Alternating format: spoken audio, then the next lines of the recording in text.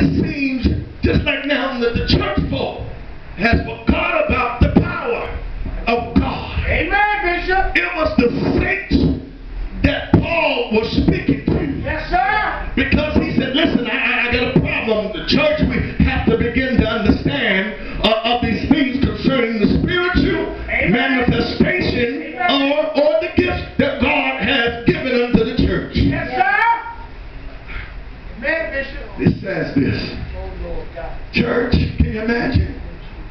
That someone had to remind people that come to church about the power, about the dunamis of the Holy. You should not have to be reminded that it's not by might, nor by power, but by His Spirit.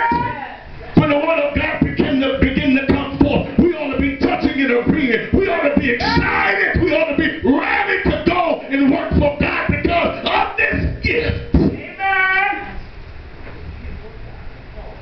Taking his neighbor. Neighbor. It's time to get the gift. Time to get the gifts. It's time to understand that, that we got the power Yeah. over the enemy. We, we got power over death. We got power over being broke. We got power over being depressed. We got power over our children. We even got power over the government, power over our Why? We are not using the gift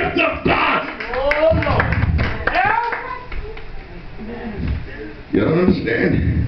You, you don't understand that we, we, we, we God give us gifts, do you? He does. We don't understand what it's going to take